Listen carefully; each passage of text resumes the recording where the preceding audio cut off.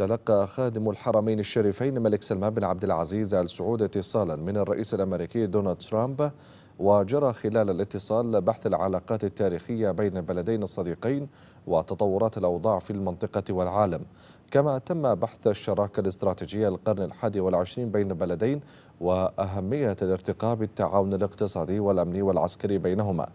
كما جرى التأكيد على عمق ومتانة العلاقات الاستراتيجية بين البلدين وقد تطابقت وجهات نظر القائدين في الملفات التي تم بحثها خلال الاتصال ومن ضمنها محاربة الإرهاب والتطرف وتمويلهما ووضع الألياف المناسبة لذلك.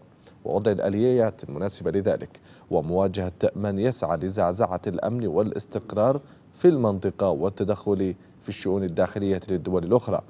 وقد أبدى خادم الحرمين الشريفين تأييده ودعمه لإقامة مناطق أمنة في سوريا. واتفق القائدان على استمرار التشاور بينهما لتعزيز التعاون الثنائي بين الدولتين وحيال قضايا المنطقة. كما أثنى الرئيس الأمريكي على رؤية المملكة 2030 وأبدى دعمه لها. وقدم خادم الحرمين الشريفين دعوته لترامب لزيارة المملكة. كما قدم الرئيس الأمريكي دعوته للملك سلمان لزيارة الولايات المتحدة الأمريكية وقد اتفق القائدان على جدولة الزيارات.